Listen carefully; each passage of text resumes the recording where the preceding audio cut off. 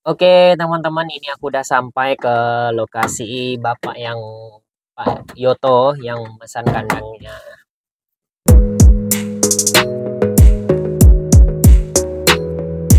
Kita mau bongkar dulu. Nah, yang tadi itu kandangnya ada di belakang tadi. Ini kandangnya yang udah sampai ke lokasi. Tadi kita drop ke sini ya, teman-teman. Kandang kita tadi. Ini ada tiga unit, eh, empat unit di sini. Nah, ini kita mau nurunkan yang kedua.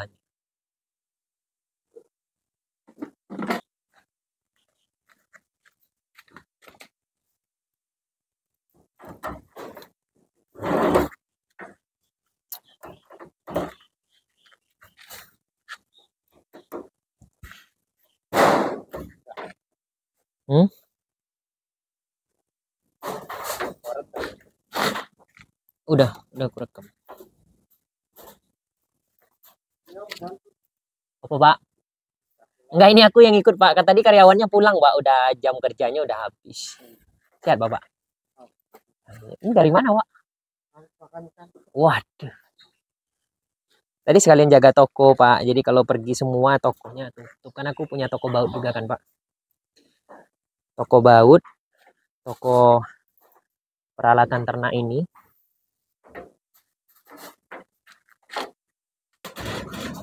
Tak nurunin kandang dulu ya, Pak. Iya, Pak.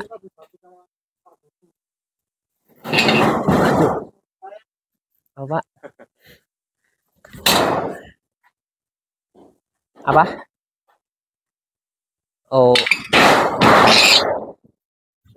Bentar. Oh, saya pakai sarung tangan nggak?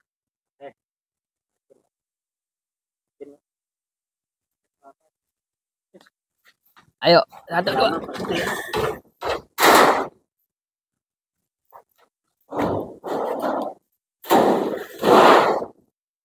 Yo.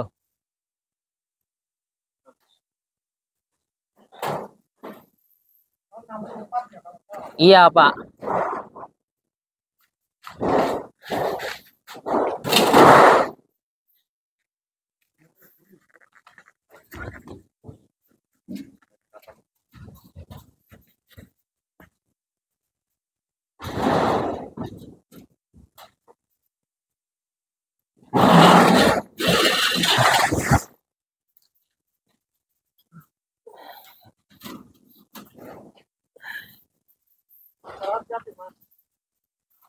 Siap, Pak.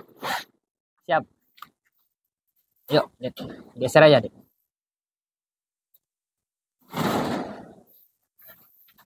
Dulu sama Pak Yotonya. Nah, sama dengan Pak siapa, Pak? Pak Budi. Pak Budi. Kita mau duduk-duduk santai dulu sambil ngobrol ya, teman-teman. Oke. Kita siapkan dulu. Ah. Oke, ini kita udah disiapin wedang ya Pak, namanya kalau bahasa teh. Kalau Nah, kita sambil ngobrol-ngobrol dulu. Nanti kita tanya-tanya sama Pak Yotonya eh, untuk tentang peternakan kelinci, oke? Pak ini orderan yang kedua ya Pak ya? Kedua. Orderan yang kedua, berarti ini totalnya udah ini 64 empat kemarin 68 full. 68 hole. Jadi Pak Yoto bilang kemarin itu dia targetnya 100 lebih ya Pak. 100 lebih untuk eh, indukan kelinci pedaging ya teman-teman ya. Untuk kelinci pedaging. Rencana mudah-mudahan kasih rezeki. Amin. Amin. Iya siap. Nggak, Dit. nih minum udah.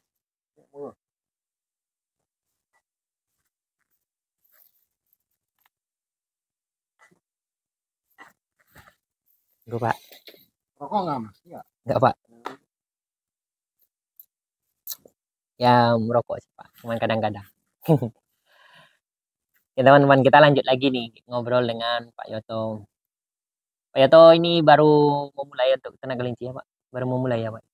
Tapi udah udah punya kelinci kan di Udah. belakang. Jalan 22. indukan ya Pak ya?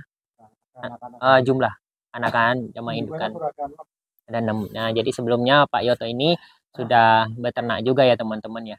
Cuman masih baru lah eh, belum terlalu lama banget. Dan Pak Yoto memang mau membuat ternakan yang besar ini teman-teman. Nah nggak main-main ini Pak. Besar banget nih Pak.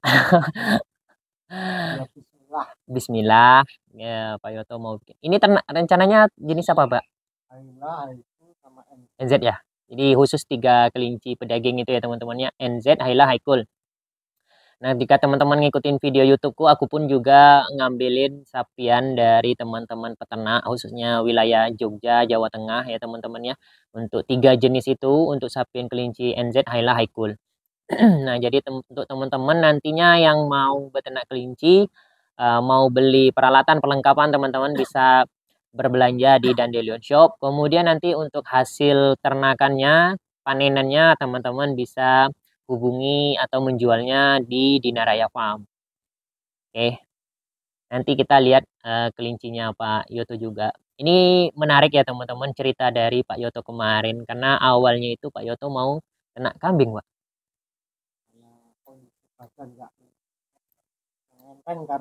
Iya.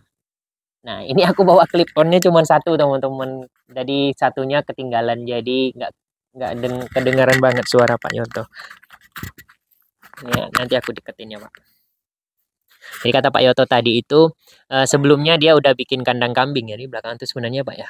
Tapi mau coba untuk beternak kelinci yang lebih enteng karena waktu dan tenaga Pak. Waktu dan tenaganya udah iya. Jadi kalau teman-teman main ke sini ini alamatnya di mana? Gabugan Dono Kertoturi ini tempatnya Pak Yoto ini apa ya enak banget teman-teman untuk sore-sorean. Kenapa aku bilang?